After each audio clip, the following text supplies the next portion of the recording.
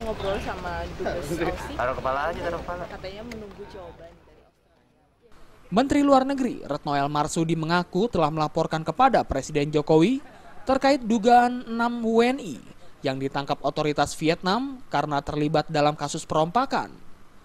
Untuk mengecek kebenaran keluarga negaraan ke-8 perompak tersebut, Kementerian Luar Negeri telah mengirim tim ke Vietnam. Menurut Menlu, ada dua kepentingan yang harus dijalankan pemerintah menyikapi kasus ini. Pertama, memastikan keluarga negaraan delapan perompak tersebut dan memberikan pendamping hukum kepada kedelapan perompak tersebut jika benar kedelapannya merupakan warga negara Indonesia. Karena kita ada dua kepentingan, satu adalah untuk memverifikasi betul mereka ada 8, 8, 8 orang itu adalah warga negara Indonesia. Yang kedua tentunya untuk memberikan pendampingan hukum. Jangan sampai ada hak-hak hukum dari 8 warga negara Indonesia tersebut yang terkurangkan di dalam uh, prosesnya nanti.